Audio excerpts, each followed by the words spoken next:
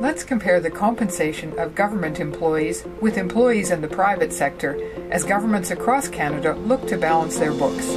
Government employees received higher wages than comparable private sector employees in similar positions. Many more government employees in Canada were covered by a registered pension plan. Government employees retired earlier. And compared to government employees, the share of private sector employees who lost their jobs was five times higher. Finally, the average private sector employee in Canada missed fewer days due to personal reasons than the average government employee.